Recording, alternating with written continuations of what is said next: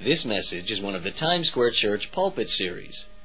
It was recorded in the sanctuary of Times Square Church in Manhattan, New York City. Other tapes are available by writing World Challenge, P.O. Box 260, Lindale, Texas 75771, or calling 903 963 8626. You are welcome to make additional cassettes of this message for free distribution to friends. However, for all other forms of reproduction or electronic transmission, existing copyright laws apply. Father, I thank you for the anointing of the Holy Spirit. God, I'm thanking you that you will take this word and you have predetermined in your heart to do a work here among your people. And Father, I thank you, God, with all my heart, that your anointing is an abiding anointing. And the evidence of the anointing is freedom from captivity of sin and expectancy that the kingdom of God has come and the work of Christ has begun and will be brought to completion in each of our hearts. Lord, I thank you, God, for what you're going to do today. I stand against every weapon of the devil, every work of darkness that tries to crush the people of God and keep in captivity the creation of God. And Father, I thank you today that through the simple preaching of your word, Holy Spirit, you're going to come and do this marvelous work of God. You will enlighten men's minds and you will set people free from the captivity of darkness. You will heal those that have been wounded in their heart. God, you'll open the ears of those who've been spiritually deaf and the eyes of those who've never seen or understood the risen Christ. God, I thank you with all my heart. I praise you. I yield myself to you, Lord, and I ask you to use this frail vessel for your glory. I stand back behind the cross and say, Jesus, let your name be the only name that is ever mentioned in this house. Father, thank you. God, I praise you from the depths of my heart, Jesus, that you are lifted up here. We give you the praise and all the glory in your mighty name. Psalm 9, the expectancy of the righteous, beginning at verse 1. I will praise thee, O Lord, with my whole heart. I will show forth all thy marvelous works. I will be glad and rejoice in thee. I will sing praise to thy name, O thou most high. When mine enemies are turned back, they shall fall and perish at thy presence. For thou hast maintained my right in my cause. Thou sattest in the throne, judging right. Thou hast rebuked the heathen. Thou hast destroyed the wicked, and thou hast put out their name forever and ever. O thou enemy, destructions are come to a perpetual end, and thou hast destroyed cities. Their memorial is perished with them. Now, this particular psalm is written by David, the king of Israel, and most probably at the height of that period in his life when he was ascending as king of uh, all of Israel, and after his numerous and seemingly unstoppable military victories. In other words, David had known incredible victories, but it was only the beginning, in a sense, of what God wanted to accomplish through his life. And with an eye of faith to the future, David goes in this particular psalm to only to a place where only those who know God are able to go. If, if you've known Him, if, if, you're here today and you are righteous, now I, I want to define righteous. Now, righteous means that you have trusted in Jesus Christ. You have acknowledged that you are a sinner. You have trusted in the fact that God became a man, died on a cross 2,000 years ago, and paid the price for all of your sin. You've placed your confidence in Him. You've, you, you've understood that God poured out the wrath that you deserved upon His own Son. And you have trusted in this sacrifice for your salvation. God says, if you have trusted in my Son, I declare you to be righteous. In other words, the, the slate is cleaned. All of the sins that you have committed against me, God says, I've placed them upon my Son. And the list of sins that is against you that would not only uh, damn you in a sense, but doom you for all of eternity are gone. You, you are now free to enter into a new and living relationship with God Almighty Himself, where He comes into your life and by the power of the Holy Spirit begins to lift you now out of the condition that came upon all of mankind because of the sin that we are born with, that was we inherited as it is because of the sin of Adam and Eve, our first parents in the Garden of Eden. Now, if you are righteous, there should be an expectancy in your heart. Yes, you may only have known a few victories. You may even be struggling here today, but there is something of God that He plants within you. If, if you have been justified, if you can honestly say, based on the Bible. There are two things that have to happen in your heart to know that you're righteous. Number one, you have the scriptural knowledge. You've looked in the Bible and said, this is who Jesus is. This is what he did for me. This is what he asked me to do, and I've done that. I've confessed my sin. I have trusted him for my salvation. I have opened my heart and I have invited him in to be my Lord and Savior. Now that's your scriptural basis for righteousness. But it follows, there's a duality with it. The second evidence is God says, the moment I have received you, the Holy Spirit, who is God, will come and live within you, and the Spirit within you will bear witness that you are a child of God. There'll be an inner cry, Abba Father. There'll be an inner awareness that God, something has changed in my life. I'm no longer the same man or woman that I used to be. Oh yes, I might still be struggling. I might still have enemies on every side. David still did at the beginning of his reign. But there's an expectancy in me now. I now have God who created the universe living within me. Oh, beloved, if the church could just get a hold of this, not, not by textual knowledge, but by experience. If you and I could fully realize that the God of the universe, if we have trusted in Christ, is now living within us, and because of that, there ought to be an expectation. And by expectation, I mean we're living in a sense, a state of expectancy because God Almighty has decreed that He is going to do something through our lives that we could never do in our own strength. Only God could do it. There's an expectancy of the righteous.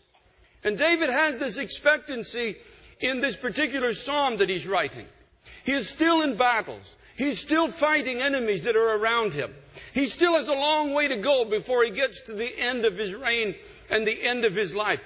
But he has begun to experience victories and he has this inner knowledge in him that God is with him. If you might be the most struggling Christian in this place today, but if you have been accepted by God, if you are righteous through Christ, you have an inner knowledge. I, I don't have to tell you about it, you already have it. There's this spark in you that just tells you, it's this voice of God that says, I have something very special for your life that I'm going to do.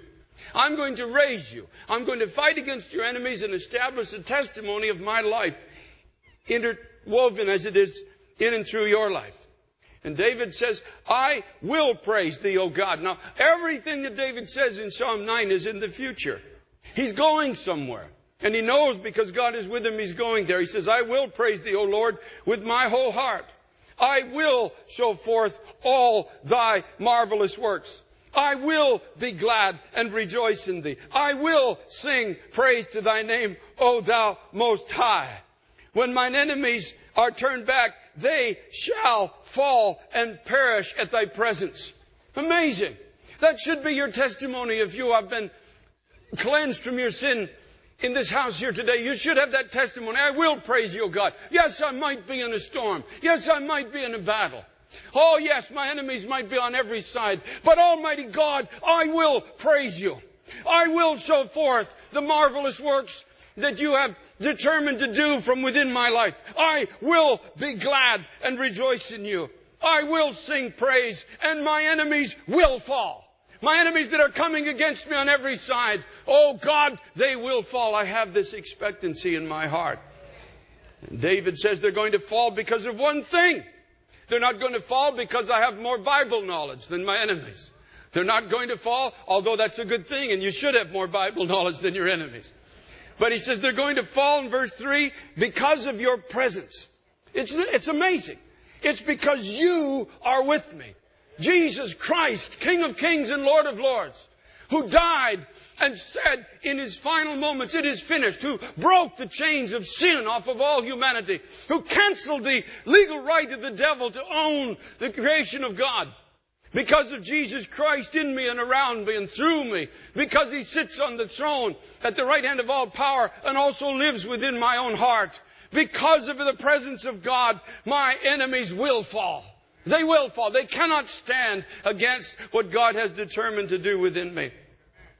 Paul says in the book of Romans chapter 8, I'll just, uh, I'll just read it to you. In Romans uh, chapter 8 and verse 29, Paul says it this way.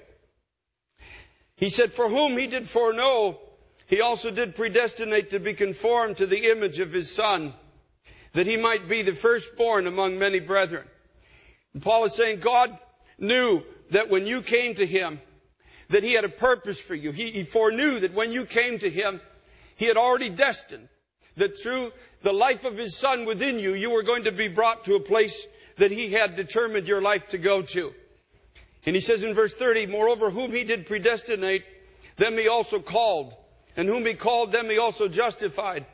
And whom He, whom he justified, them He also glorified.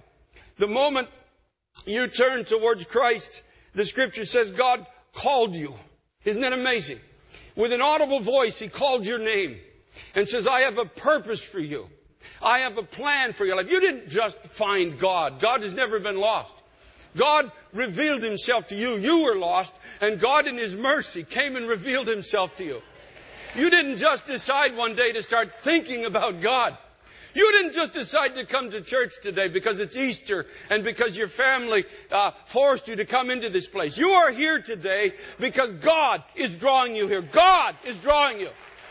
God, if you can hear it today, He's calling your name.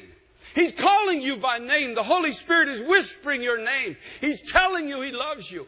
He's telling you He came to the earth 2,000 years ago and paid the price for your sin. He called you to a holy calling. And he goes on to say, and them he called, them he, he also justified.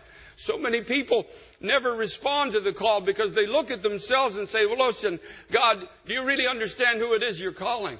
Do you know the things that I have done? Oh yes, God knows the things you've done. He knew you were going to do them before you even formed the intent to do them. He knows even more than you can think or understand. But in spite of it all, He says, I'm not calling you because you are anything more than special to me. You are the very center. You're the apple of my eye. You are the very delight of my heart. I created you for fellowship and I know you've failed and you've fallen, but I've called you. And because you're responding to the call, I've come and died for your sin and I'm justifying you. Them he called, he says he also justified. That means he paid the price. He satisfied his own wrath that should be yours because of the sin you've done and committed against God. He poured that wrath upon his own son. An innocent man paid the price for your sin and for mine. Isn't it amazing? The love of God. That's why when people who have rejected the love of God one day finally stand before His throne, there will be no excuses. There will be nothing to say. All of a sudden, their minds will be open. Every man and woman ever born will understand how much God had loved them, how often He had reached out to them. And sad to say, perhaps some have even attended this church will be there one day realizing that the Holy Spirit had been reaching out to them, calling their name, wanting to cleanse them of their sin, but they'd hardened their hearts to the Word of God. They'd formed their own nonsensical notion about God is, who God is and how God works and what God does. And uh, unfortunately, it falls short of the glory of God. And he says, those he called, he also justified. And whom he justified, them he also glorified. And the word for glorified means he gave them the power to be brought to a glorious place, to, to a place of honor, to, to the place God says where I've destined you to go. I called you and then I justified you means I paid the price for your sin and now I've given you the power to be brought to the place where I have determined your life is to go. It's amazing when you begin to really understand it. And then Paul goes on to say, then what shall we say to these things? If God be for us, who can be against us? Paul says, if you see it, can you understand it? That God is so for us. He has so determined to take you and I to a certain place in Him where our lives will glorify Him. And he said, if God is so for us, then who can be against us? Oh, beloved, this is the one scripture I learned as a new Christian that delivered me as it is from a, a nine-year captivity of darkness. It was in my life, a, a, a fear that was overwhelming my, uh, sense of identity even. I was being swallowed by this fear that was on me. I read this one scripture. If God be for us, who can be against us? God is for you today. He's not against you. And the devil will try to have you convinced that, oh, you're such a failure. You're so weak. You're so powerless. You, you have lived such a lie. You, you live such a lousy life as it is that why would God even want you? But the scripture says God is for you. He's not against you.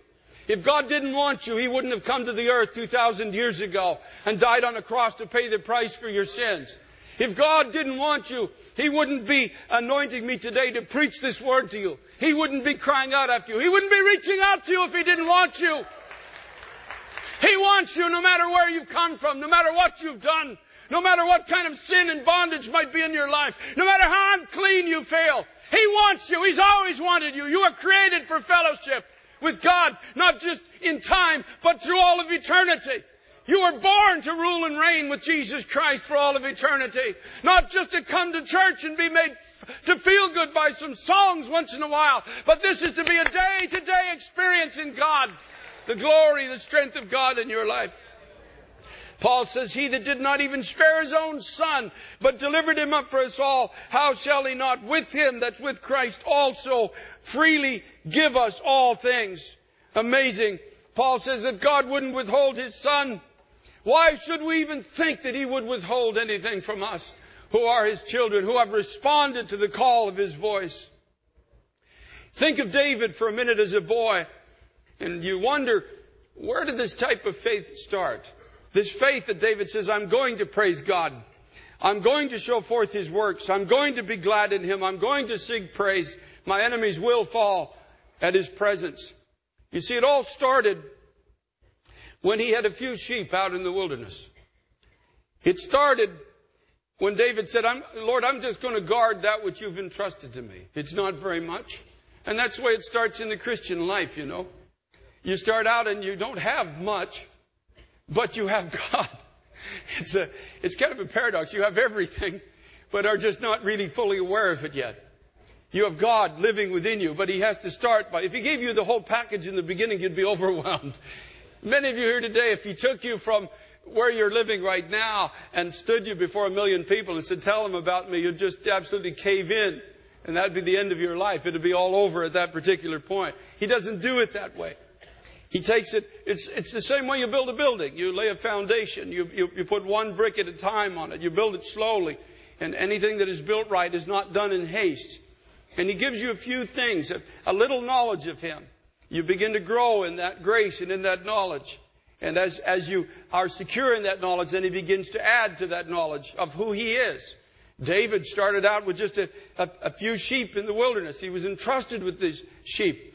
And uh, he, he, he, took that charge seriously. The, the truth that God gives you, the, the, the, ministry that He will hand you, take it seriously. Begin and to fulfill that ministry with these few sheep. And the devil tried to take that life that God was giving him right in the beginning. He sent a lion into that flock. He sent a bear into that flock. But David said, no, you devil, you're not getting what God has entrusted into my hand. It's only a few things, but you're not getting it. And, uh, you know, I, I, was thinking of this particular uh, concept when I was reading some of the church ministry reports this week. And, and uh, in the new believers class that we have here at Times Square Church, now here are the praise reports of people who have been handed a few things and are just starting out, a brand new walk with God. One student asked the Lord to give her time to study the Bible. And she knows that the class, that the new believers class is an answer to that prayer and is an example of his faithfulness. She was just saying, God, help me to study. I'm brand new and I, I, I don't know uh, the, all the truths of God. And so she was led into the new believers class and says, now God, this is the first thing you've handed to me. This is this, the sense of awareness. Another person said, the Lord is answering my prayer by granting me a greater sense of the Holy Spirit's presence and more love for my wife. Now, isn't that amazing? This is where this is starting for this particular man. His, his awareness that God is with him. He's a brand new Christian and he says, God has, is giving me more love for my wife. Now folks, that's, that's supernatural. Because in the natural, in the world, it starts on a pinnacle. You know, it starts with the songs and the vows, the kisses and the bridesmaid and the roses and the whole thing. And you all know it just goes downhill from there. In the natural. That's the pinnacle. The only, the only way you can ever hope to achieve it again is watch it on video if you're lucky enough to have a video. But the marriage just is, goes down the tube in most cases from there, especially in our generation. But in Christ, there's a love that begins to develop that has nothing to do with the natural eye. It has nothing to do with the natural man. It is supernatural. It's something of God where the two are intertwined as Christ is with His church and the two begin to become one. And this new believer is beginning to understand that, hey, God is real because I came home the other day and maybe He's only saved for a month and I'm starting to love my wife in a way I've never loved her before. I thought my marriage was over. I thought it was finished. But there seems to be this love that is now coming from within me that I know is not me. Because I had no power to do this before. You see, he's being handed something of God. It's only a small beginning. Another woman in the class asked the Lord for direction in her life, and she has been drawn into God's Word and been comforted. She said, God help me, guide me. And God says just, and he, the Holy Spirit just drew her into the, into the Bible, and she's finding her source of comfort in the Word of God. Another uh, uh, new Christian has been given an awareness of God's divine favor in the workplace. Here's a person that's, that's going to work and has, has, has been uh, struggling along in the job as it is, and all of a sudden, I don't know the concept of divine favor that they have, but it, it could be that uh, their thinking is getting more clear. Uh, that happens when you come to Christ. Your, your thinking clears up. And there is this inner voice as it is, this inner witness. It's not an audible voice, but there's an inner sense. You can read about it in Psalm 112. It says, the man who's righteous and fears God God guides him. He, he, allows him to conduct his affairs with discretion. He, he gives him sense in his day-to-day uh, activity. And this, this man is becoming aware in the workplace that, hey, I, I, have, I have God's favor on me. I, I seem to know what to do. And when you have God's favor, the people around you will begin to notice that too as well, especially those who are interested in, in uh, true productivity. Another person says, The Lord has uh, caused me to depend on Him more and has given me a grateful heart for all He's doing in my daily life. Now that's evidence of God's presence, a grateful heart. You know, from all these years of grumbling and complaining and finally coming to Christ, and then all of a sudden this gratefulness comes into the heart. It's evidence of the fact that Jesus Christ is alive. Another new believer's prayer has been answered by giving her the grace to be loving and compassionate as her character is being tested at work. And of course that will come into everybody's life who loves God. And she says, I'm being tested, but I'm finding in my life a new grace and a new character, an ability to stay calm, an ability not to answer back in like kind, an ability perhaps which is evidenced by a compassion for those who are still living in spiritual ignorance and in darkness. And it's amazing. These are just small beginnings. These are just few sheep, like David had a few sheep out in the wilderness. But if you are wise, you will protect these. Never let them slip through your fingers. Say, God, build on this now. Build on it. Help me to understand how you work and, and let these things that you've begun to do in my life, let, let them be on the increase within me. Zechariah was a prophet raised up in the Old Testament. The people began to be discouraged. They'd come back out of captivity. They were rebuilding the place of worship. And they got discouraged because of the opposition. And they looked upon what they were building and it seemed so small. And it, it would seem so insignificant to them. And then God raised up a prophet. And Zechariah, I'll read to you from the New Living Testament. He said, Do not despise these small beginnings, for the Lord rejoices to see the work begin. Do not despise these small beginnings in your life if you're a brand new Christian today. You, you may be fighting on seven fronts and have victory on one, but do not despise the small beginning. It is evidence that God is in your life. It is evidence that you're not going to fall with those who uh, live around you in society without God. You are going to make it through to the end.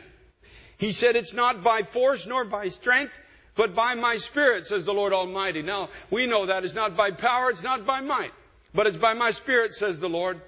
And then he goes on to speak to the man who's in charge of this building, and he says, Nothing, not even a mighty mountain will stand in your way. And every obstacle that comes before you, it will even flatten out before you. He says, I've commissioned you to build something and I am the source of your life and strength in building it. And you will be there when the first stone of the building is set and you will be there when the building is finished. And everyone around you will stand there and look upon this building that has been built by the hand of God through human vessels and they will shout grace, grace to it. In other words, they will say, God bless it, God bless it. It could not have happened but by the power of God. Oh, beloved, you see, that's the destiny that God has for you. Your life, when you come to Christ, it starts out small. He begins to build an awareness of His presence into your life. You, you don't have to do this through human effort, you know. You see, God is in you. And He says, now I'm just, I'm going to help you get rid of human effort because human effort got you into the mess that you're in and it's not going to get you out of the mess. I'm going to help you to understand that my nature is now in you and I've given you promises. And it's by embracing these promises that I will teach you that you will begin to know my new life within you. It's amazing when you begin to see it. It's not by your might, it's not by your power, it's by my spirit within you. I will begin to guide you. I'll begin to lead you. I'll begin to make you into the person that I've destined you to be. And when you get to the end, you're going to look back and everyone who knew you is going to shout grace, almighty grace, the goodness of God. Hallelujah. Hallelujah. Hallelujah. Is that what you want today? Do you want it? It's within your grasp if you're a Christian. It's not some pie in the sky theology. This is the gospel of Jesus Christ. This is the power of God that is believing, given to those who believe in Christ. Now we go on from here, and David says again in Psalm 9, he says, I will show forth all thy marvelous works. In other words, everything that you have destined to do through my life, God, it's going to happen. I'm not going to settle for mediocrity. I'm not going to be overrun by my own frailties. I'm not going to let these evil voices that try to tell me I'm going to amount to nothing triumph over me. I'm not going to give in to the frailties of my own heart. If my own heart condemns me, the scripture says God is greater than my heart. He's greater than my own frailty. He's greater than every voice of the devil. He's greater than every power of evil that will try to stop the testimony of Christ from being formed in your life. The devil will fight against you with every lie he's got in his arsenal. Because he knows that God is destined to break something in you of himself that will cause people, it will cause your children, it will cause your grandchildren, it will cause the people in your workplace, in your community to stand up and shout grace. This can only be the goodness of God. There's no other way this could have happened in his life. They will see it. They will shout. They say, this is not the father I knew. This is not the husband I knew. This is not the sister or brother that I knew. When I see what has happened, it could only be the power of God. It could only be the glory of God. Religion will just cause you to begin to attempt to change in your own strength, and it's fruitless, it's powerless. But the New Testament provides all the power of God that you will ever need in the Holy Spirit to make you into the person that God has destined you to be. Take you where God has destined you to go and make you what God has destined to make you into. Open your mind and open your eyes and your heart and your thoughts and take you so far beyond human limitation that people will stand in awe. They will stand in awe. They will have to acknowledge that God is alive. Hallelujah. Hallelujah. You and I are His only testimony. We're beyond the days now of fire falling out of heaven on stone altars. It's over now. We're now in the New Testament. And in the New Testament, the fire of God, the same fire that came on Elijah's altar, now falls upon people who have turned to Christ. That fire is the power of the Holy Ghost. And we are now the testimony of Christ to our generation. There is no other testimony. We are the testimony. You and me. He's not established any other uh, presence of fire to our generation, but what He does in us and what we allow Him to become through us. David says, I will show forth. I will. I will, David says. I will show forth all your marvelous works. David said, I've touched your glory. I've understood your power. I've seen you triumph over enemies that were stronger than I am. I've watched as I've run down into the valley and faced a giant that was causing the whole armies of Israel to tremble. I've seen you direct a little stone into that giant's forehead. I've seen what you can do through faith. And oh God, I've determined in my heart, that's what made David a man after God's heart. He said, I've determined in my heart to show forth all the marvelous works that you've determined to do through me. I don't want to fall back in 5% of what you've called my life to be. That's what made him a man after God's heart. And the word show forth in the original text means to mark up a score. In other words, David's saying, the score is going to be complete. Hallelujah. To recount, to celebrate. It also means to polish. And I was, when I was looking at it, I think, now that's strange.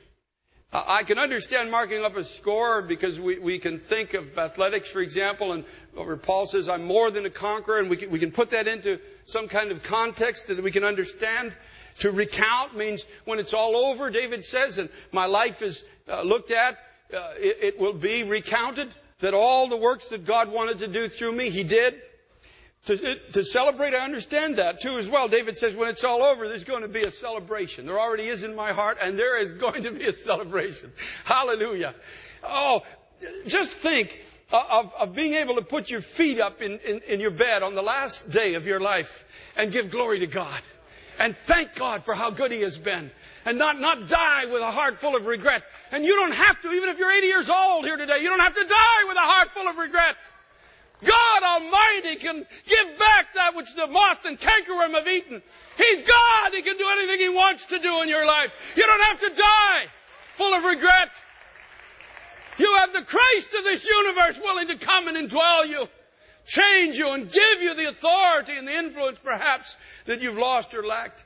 And I can understand the celebration at the end of a man's life when everything is rolled up together. But to polish, and I was really meditating on this. I said, to polish. I, I mean, I, I understand polishing. I have to do that at Christmas time. All, my wife brings out all the silver stuff that's everywhere. And it's usually not silver anymore, so I'm in charge of polishing it. And I understand that. Uh, until, it seems strange, until I went into the scriptures in the, uh, in the book of Ecclesiastes, Solomon says it this way. He says, Who is a wise man? And who knows the interpretation of a thing? Now, the word thing means, it means understands what the word of the Lord has already done. Solomon says, who is wise and who understands what God has already done? And then he goes on and says, a man's wisdom makes his face to shine and the boldness of his face shall be changed. In other words, God, he will be polished. His face will change the tarnished look on his face that sin brings and unbelief and doubt. And I, if we, if we, I could like to take you on a tour of Times Square today and look at all the tarnished faces out there today. Walking the street and looking for happiness, can't find it, bowing under the weight of sin, little or no hope for the future. And God says, when I come into your heart and when you begin to understand what I've already done, not what I'm going to do, but I've done it. You're just entering into it. It's already done. It's finished. I did it on Calvary. I've sent the power of the Holy Ghost. There are now no limitations. There are now no enemies can stand against you. There's, there's nothing can stop the plan of what I want to do in your life. If you can understand this, your face will change. I can always mark a person who comes into the house of God who has confidence in God. There's something about the way they walk. There's something about the way they look. There's something about the way they shake your hand. They're polished. The hand of God has come on them and just wiped off the tarnish of fear and unbelief. And they might be going through financial difficulty. They might be in the storm of their life. Their kids might be living for the devil. But they're walking in and there's a polish of God on them. There's no limitation in their heart to what God can do. They're polished by the hand of God.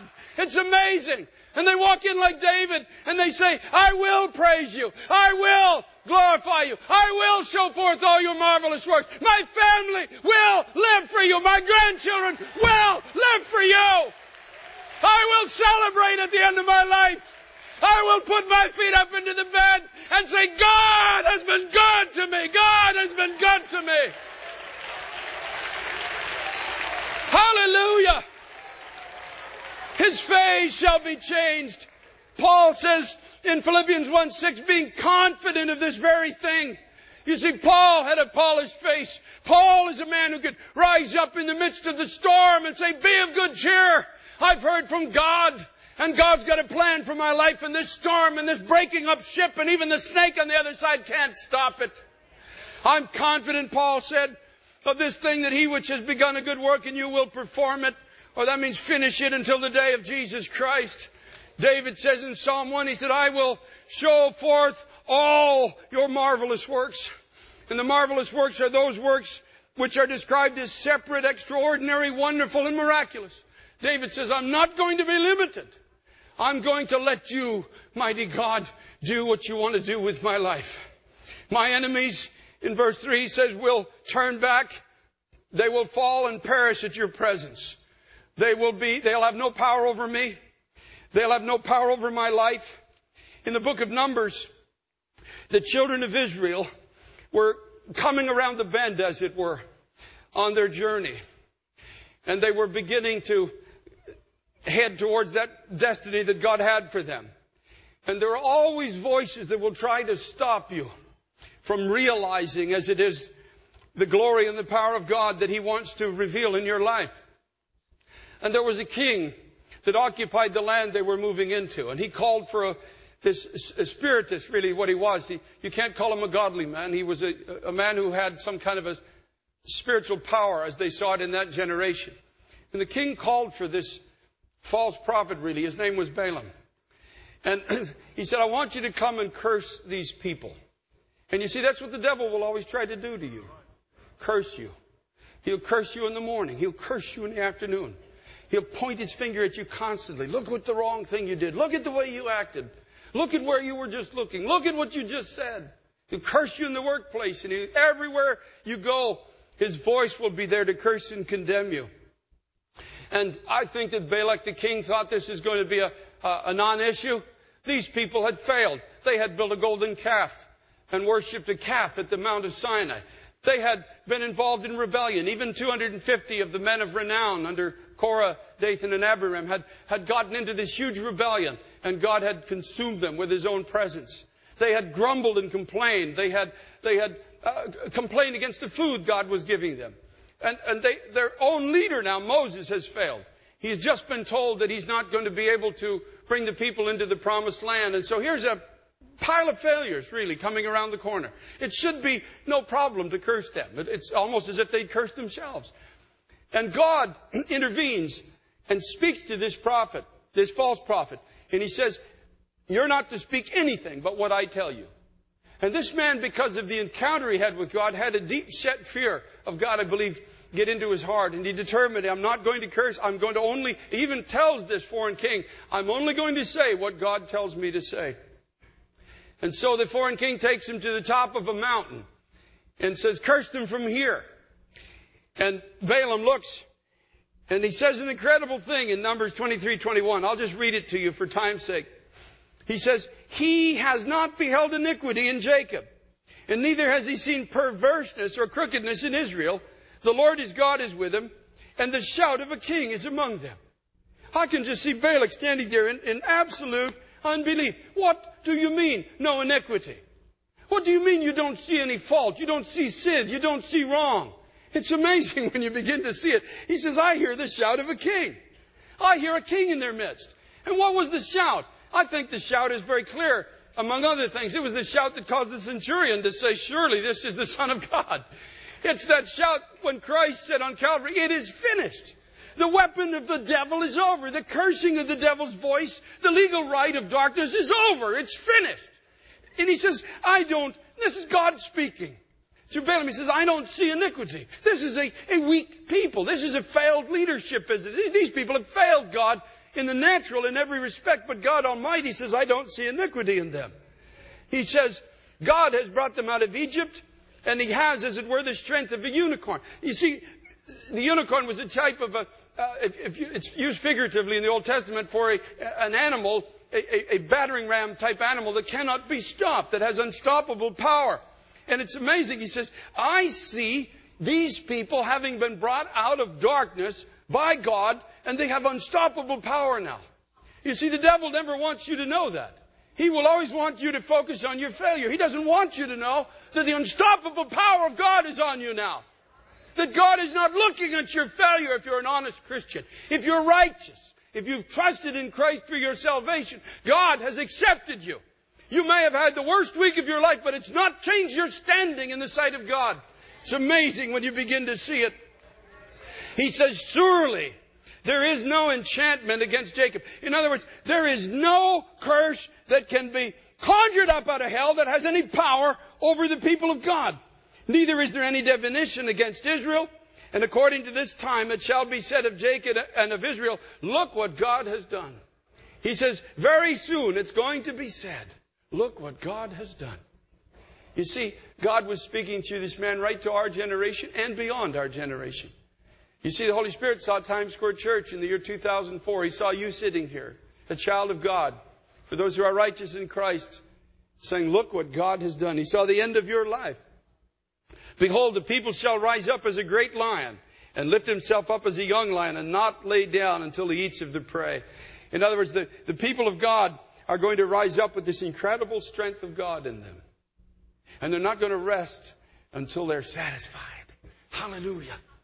Hallelujah. I wish you could understand this, everybody here. They're going to rise up. This is, this is prophetic about our generation, about the church of Jesus Christ. They're going to rise up and they're going to be strong in the strength of God within them. And they're not going to rest until they've been satisfied. Until the end of the day, the end of their life, they say, God, you've been good to me. God, you have done everything you promised. And now on God's part, Balaam says he will pour out water out of his buckets. And his seed shall be in many waters, and his king shall be higher than Agag, or every kingdom, and his kingdom shall be exalted. God says, I will pour out an abundant supply to my people, and their kingdom will be higher than any kingdom in this world. He shall eat up nations, his enemies, and shall break their bones and pierce them through with his arrows. He couched, and he laid down as a lion and as a great lion, and who shall stir him up? Hallelujah. God says, I have determined to be the strength of my people. And who dares to challenge me? Who dares to challenge what I have determined to do? You see, that's why in the, in the Old Testament, in the Psalms, the scripture says, every voice that rises against you, you have the right to condemn it. Because your righteousness is of God and it's not something of yourself. It's amazing. Again, David says, and we're going to finish this off in Psalm 9. In verse 4, David says, You have maintained my right and my cause. Thou sattest in the throne judging right. The New Living Testament says, God, you have judged in my favor. The enemy has come against me, but you've condemned him and you've justified me. You've said that he's not going to prosper against me, but you've said that my life is going to be taken to a foreseeable end. Verse 6, he says, O thou enemy, destructions are come to a perpetual end. Thou hast destroyed cities, and their memorial is perished with them. In the New Living Testament it says, My enemies have met their doom. Their cities are in perpetual ruins. And even the memory of their uprooted cities is lost. God says, I'm going to come against every strong city in your life. Every encampment of the devil, I'm going to come against it, and they're going to meet their doom. They're going to be left in ruins. And even the memory of them is going to be taken away. Now it begins here in this Christian life, but it real, it reaches its finalization. We read in the book of Revelation when he says there's going to be a new heaven and a new earth. He says, former things are passed away and I will make all things new. Isaiah speaking of that day in chapter 51 tells us that even sorrow and mourning are going to flee away. One day you and I are going to be in heaven. And the memory of pain is going to be gone. There'll be no more sighing. There'll be no more sorrow. But in this life, God says, I begin the work. I begin this tearing down. I begin to take away these strong cities. I begin to scatter them into ruins. I begin to give you beauty for ashes. I give you the oil of joy for mourning. I give you the garment of praise for the spirit of heaviness that sin and the devil and your life circumstances put upon you. I make all things new. I begin to take away that which has stood against you and oppressed you and tried to drown you in all kinds of destruction and sin. I take it away from you and I make all things new. David says, Oh, I will praise you, O God. I will show forth your marvelous works. I will be glad. I will sing to your name. My enemies will fall at your presence. They will fall. If you are here today and you're a Christian, you can have the assurance that your enemies are going to fall if you are in Christ. There's no stronghold. There's no weapon formed against you that can prosper now against you. All God says I require of you is to believe me. That's all I require. I don't want your effort. You don't have to put your hand to this. Yes, you just get up and walk. But I'll give you the strength. All I require of you is to believe me. I don't require anything else of you. I will be your strength. I'll be your life. I'll be your light. I'll be your song. I'll be your hope. I'll be your guide. I'll be your healer. I'll be your deliverer. I'll be the one who gives you spiritual sight. I'll touch your past. I'll assure your present. I'll give you a hope for tomorrow. I'll be everything and all to you if you will just believe me. Hallelujah. Lastly, in Psalm 81, I just want to read it to you. Psalm 81, David says these words, the psalmist rather, he says these words, Oh, that my people had hearkened unto me. Psalm 81 verse 13. And Israel had walked in my ways. I should soon have subdued their enemies and turned my hand against their adversaries. The haters of the Lord should have submitted themselves unto him, but their time should have endured forever. He should have fed them also with the finest of the wheat and with honey out of the rock should I have satisfied you. The cry of God, he said, Oh, that my people had hearkened to me. Oh, that they had begun to walk in the strength that I would have given them. I would have fed them with the finest food, spiritual food that this world can offer, or that can be found rather in this world. And I would have given them honey. I would have made even the hard places sweet. I would have given them life out of difficulty. I would have fed them with strength. I would have enlightened their eyes. I would have made them a people who have to be reckoned with in the midst of a very darkened and confused generation. The testimony that you have at the end of your life depends on how you respond to what God speaks today. If you live as a skeptic, you will die as a skeptic. Still trying to invent formulas in your mind about the meaning of life, but yet your life is over. And you've not found the meaning. You live as a doubter, you die as a doubter. You live in unbelief, you die in unbelief. You live in sin, you die in sin, and you're separated from God for eternity. You live for Christ, and Christ lives for you. He comes with all the power of heaven, all the power of every promise that God has ever made to you. He comes and lives within you. He raises you, the Bible says, and as you simply behold Him, He changes you into His very image, the image of God.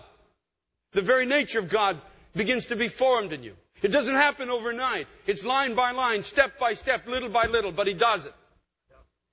It creates in your heart this insatiable hunger for God. It says, Oh God, don't stop now.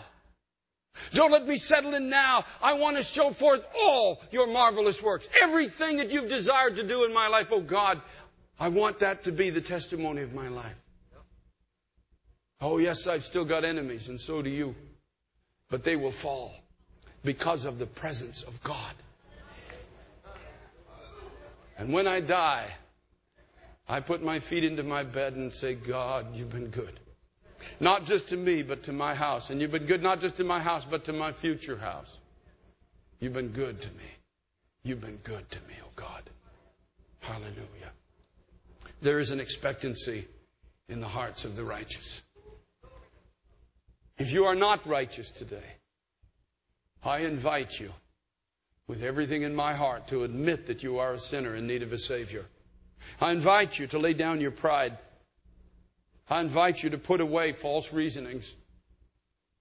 There is a God. He did create you. He is coming back to rule and reign. He did die for your sin. He does call you to Himself. He will forgive you of all the wrong things that you have done. If you are not righteous, then you don't have an expectancy, do you? Do you? You don't. If you're not righteous today, you don't have an expectancy. You expect to go home and have a good dinner, but because there's unrighteousness in you, it will usually end up in an argument or bad feelings. Your expectancies will let you down, but the expectancy of God will never fail you. But it requires of you a humility. It requires that in your heart you say, God, I have sinned against you. I live in sin. I am a sinner. And my sin caused you to be hung on a cross and beaten and bruised beyond human recognition. It was my sin that put you there. Not the Jews, not the Romans, it was me. My sin. The sin of all humanity put you on that cross. But you went there willingly because you loved me. You wanted fellowship with me. And today, God, I'm finally dying to my pride. And I'm going to get up and confess that I need a Savior. I need a Savior. I need to be saved. My father gave his life to Christ in the last conscious hour.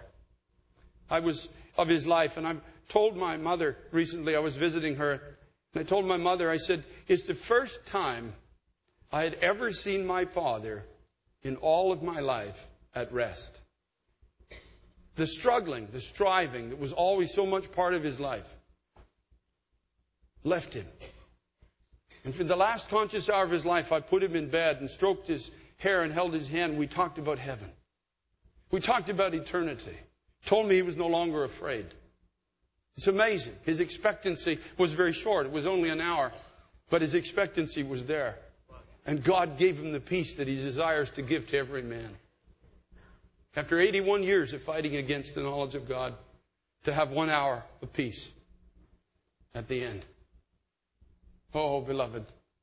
Oh, beloved. If I, for those who don't know Christ, I, if I could, I'd love to come and just spend time with every one of you if I could. Because this is about eternity and it's about the real God, Jesus Christ. And today the Lord asks you to humble yourself and acknowledge that you need a Savior. I beg you, I beg you, in Christ's name, to do this today.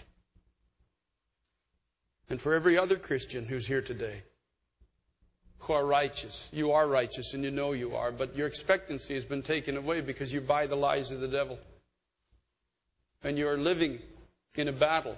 And you will always live in a battle. It's not going to go away because you're a Christian. It may even intensify. but God says, I give you the knowledge of who I am. And I want to put a new song in you.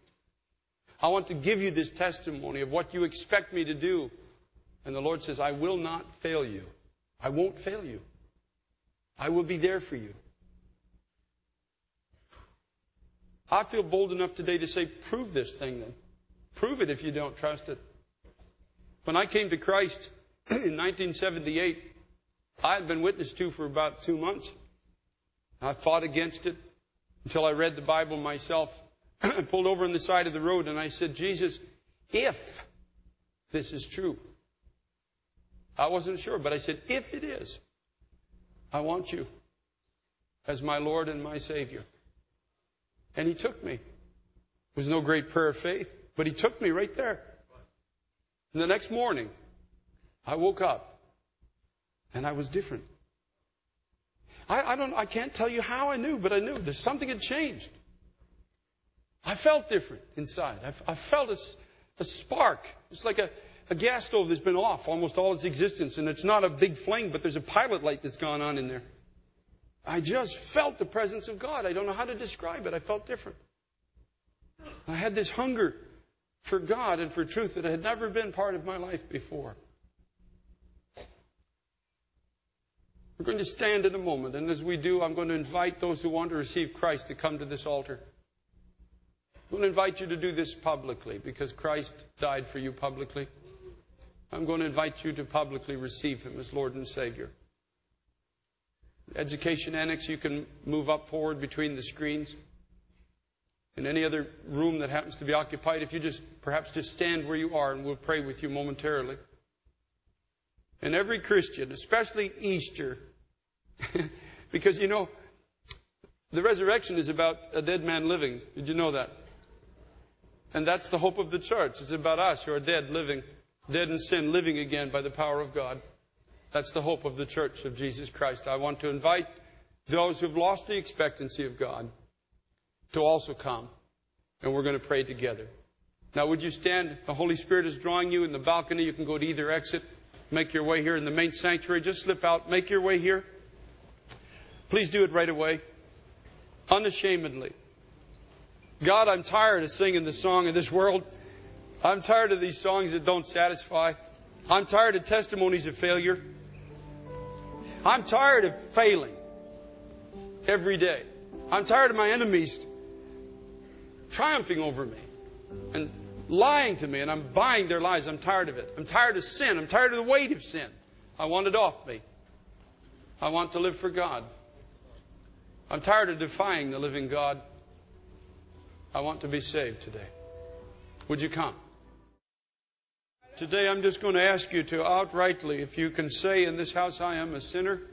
That includes those in the annex and the other rooms. And I need a Savior. You may not have responded to this altar call. And I understand that. God understands it because sometimes it's, it's difficult to step out. You're, you're, not, you're unsure of the environment. But you have nothing to fear today. Never asked to join anything here at Times Square Church. This is about eternity. It's about God's love for you and your response to that love. But if you can say, Pastor, I am a sinner. I live in sin. And I need to be saved. And today I want to give my life to Jesus Christ. I understand that God will forgive my sin and He's, He has destined something for my life. I've fallen short of that glory. But God's willing to forgive me, and He's willing to change me and make me into the person that He has destined me to be. If that's in your heart today and that's what you want, I'm going to lead you in a prayer. And when you, if you pray this sincerely, you can know that your sins are forgiven today, and you can begin to walk on this path of new life in Christ. I want everybody unashamedly in this house who would say with me, Pastor, I want to give my life to Jesus Christ. I want my sin forgiven. I want to become a Christian. Would you raise your hand right now? Very high, everywhere. Balcony. Go ahead. Keep it up. Raise it high. Balcony. Education Annex. All over.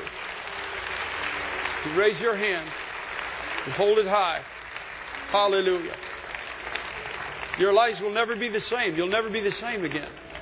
You're starting a brand new life. The Bible calls it being born again, as if you'd never sinned. Born again by the Spirit of God this time. Hallelujah. Hallelujah. Hallelujah. What a wonderful day. Father, we're going to pray now, a simple prayer. And then if you really mean this in your heart, if you really mean it, God will receive you. Let's pray together for those that are coming to Christ today. There are many, many all over the sanctuary. And I believe in the Annex 2 as well, in the overflow rooms are coming to Christ. And you pray it too. If you didn't have the courage to come to the altar and you didn't have the courage to raise your hand, but in your heart you're saying, Oh God, I want this. I know this is true. I just know it. I know in my knower that this is true. You pray too. You ask Jesus to come into your life, and He will hear you. He'll receive you. It's not about form. It's not about tradition. It's all about heart. It's about what's inside of you, responding to Him. Pray with me, please, today. Lord Jesus, I am a sinner. Jesus, I thank you that you so loved me, that you died on a cross and paid the price for all the wrong things that I have done. I'm sorry for my sin. And I don't want to live in sin anymore. I ask you now, Jesus, to come into my life and be my Lord and my Savior. I believe that you have received me because I have asked you. Lord, for the first time ever, I'm going to say, I love you. I love you, Jesus. And I hear you now saying to me, I love you, my child. I love you. I hear you speaking my name. Oh God, thank you for saving me from the penalty of my sin, for cleansing me, and giving me new hope and a new life that is your life, which you give to me. I believe, Jesus, you are the Son of God. You were crucified for my sin and raised from the dead by the power of God as living proof that my trust today in you is not in vain. As Christ was raised from the power of death, so too I will be raised from the power of sin and the power of my own flesh and given new life by the Spirit of Almighty God. Oh, Jesus, I believe that at this moment, heaven is rejoicing because I am saved. I am saved. I am saved. Hallelujah. Hallelujah. Saved. Say it. I'm saved. I'm saved. You have right to rejoice. You have right to celebrate. I'm saved from the power of sin. Hallelujah. Now for the others. I pray. Now, let's pray together for everybody else at the altar. There's a guy celebrating already because so many have come to Christ. Lord Jesus, you are my strength, my hope, my Redeemer, my life, my righteousness. I expect that your life has become mine and that you will do everything in me that you have promised me. I will praise you. I will show forth all your marvelous works. I will be glad. I will rejoice in you and you alone.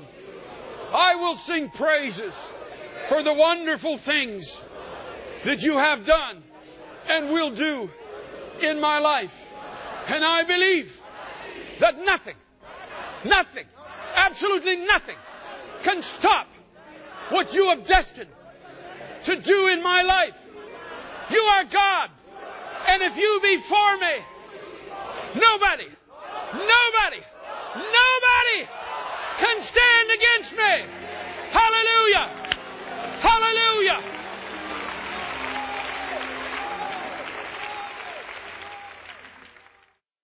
This is the conclusion of the message.